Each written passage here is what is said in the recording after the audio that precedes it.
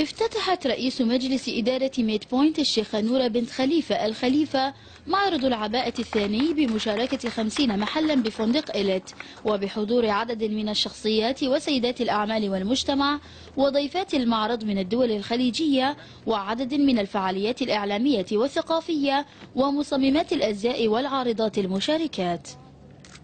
إن معرض العباءة في نسخته الثانية لهذا العام استطاع يحقق تطورا كبيرا ونجاحا واسعا عن نسخته الأولى في العام الماضي ما يعد إنجازا كبيرا إذ تضاعف عدد المشاركين هذا العام والعارضين والموديلات والتشكيلات المتعددة والتصميمات المتطورة والتي أثارت الإعجاب الكبير لدى زوار المعرض وضيوفه من البحرين والدول الخليجية الشقيقة.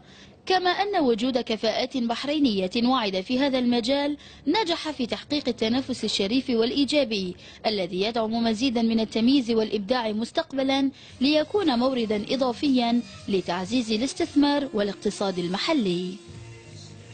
يهدف المعرض إلى إظهار الإبداعات والتمييز البحريني والوطني والمحلي بأفضل صورة على مستوى عالمي مع حرص القائمين على المعرض على توفير الخيار الأفضل للمواطنين وخصوصا في فترة الأعياد. وخلال حفل الافتتاح تم تكريم الأرامل وتقديم تبرعات لكسوة العيد لأرامل منتسبي المؤسسة الخيرية الملكية.